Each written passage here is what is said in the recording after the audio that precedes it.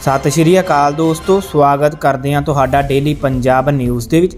ਦੋਸਤੋ, ਇਸ ਵੇਲੇ ਦੀ ਵੱਡੀ ਖਬਰ ਸਾਬਕਾ ਮੁੱਖ ਮੰਤਰੀ ਦੇ ਘਰੋਂ ਆਈ ਇਹ ਵੱਡੀ ਮਾੜੀ ਖਬਰ ਪ੍ਰਸ਼ੰਸਕ ਕਰ ਰਹੇ ਦੁਆਵਾਂ।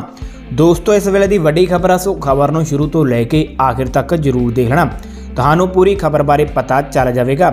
ਉਸ ਤੋਂ ਪਹਿਲਾਂ ਦੋਸਤੋ, ਇੱਕ ਛੋਟੀ ਜਿਹੀ ਬੇਨਤੀ ਹੈ ਸਾਡੀ ਵੀਡੀਓ ਨੂੰ ਲਾਈਕ ਸ਼ੇਅਰ ਅਤੇ ਚੈਨਲ ਨੂੰ ਸਬਸਕ੍ਰਾਈਬ ਕਰਨਾ ਵੀ ਨਾ ਭੁੱਲਣਾ।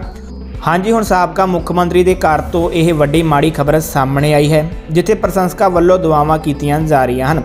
ਪ੍ਰਾਪਤ ਜਾਣਕਾਰੀ ਅਨੁਸਾਰ ਹੁਣ ਬਿਹਾਰ ਦੇ ਸਾਬਕਾ ਮੁੱਖ ਮੰਤਰੀ ਤੇ ਹਿੰਦੁਸਤਾਨ ਆਵਾਮ ਮੋਰਚਾ ਦੇ ਮੁਖੀ ਜੀਤ ਰਾਮ ਸਾਂਝੀ ਉਹ ਕਰੋਨਾ ਦੀ ਚਪੇਟ ਵਿੱਚ ਆ ਗਏ ਹਨ। ਹਾਂ ਦੱਸ ਦਈਏ ਇਸ ਵਿੱਚ ਉਹਨਾਂ ਦੇ ਪਰਿਵਾਰ ਨਾਲ ਸੰਬੰਧਿਤ ਵੀ ਲੋਕ ਹੋਰ ਕਰੋਨਾ ਦੀ ਚਪੇਟ ਵਿੱਚ ਆਏ ਹਨ। ਦੱਸ ਹੈ ਕਿ ਸਾਬਕਾ ਮੁੱਖ ਮੰਤਰੀ ਅਤੇ ਉਹਨਾਂ ਦੇ ਪਰਿਵਾਰਕ ਮੈਂਬਰ ਪਿਛਲੇ ਕਈ ਦਿਨਾਂ ਤੋਂ ਬੁਖਾਰ, ਜ਼ੁਕਾਮ ਅਤੇ ਖਾਂਸੀ ਆਦਿ ਦੀ ਚਪੇਟ ਵਿੱਚ ਆ ਗਏ ਸਨ, ਜਿੱਥੇ ਸਾਬਕਾ ਮੁੱਖ ਮੰਤਰੀ ਦੇ ਲੋਕ ਅਦਾਲਤ ਵਿੱਚ ਆਉਣ ਵਾਲੇ ਲੋਕਾਂ ਦਾ ਪਹਿਲਾ ਟੈਸਟ ਕੀਤਾ ਜਾਂਦਾ ਹੈ। ਉੱਥੇ ਹੀ 6 ਲੋਕ ਕਰੋਨਾ ਪ੍ਰਭਾਵਿਤ ਪਾਏ ਗਏ ਹਨ।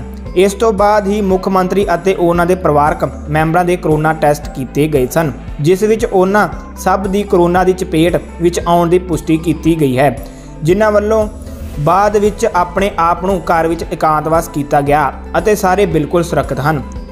ਹੁਣ ਸਾਬਕਾ ਮੁੱਖ ਮੰਤਰੀ, ਉਹਨਾਂ ਦੀ ਪਤਨੀ ਨੂੰ ਬੇਟੀ ਅਤੇ ਉਹਨਾਂ ਦੇ ਨਾਲ ਹੋਰ ਕਈ ਕਰਮਚਾਰੀ ਹਨ ਜੋ ਕਰੋਨਾ ਦੀ ਚਪੇਟ ਵਿੱਚ ਆ ਗਏ ਹਨ।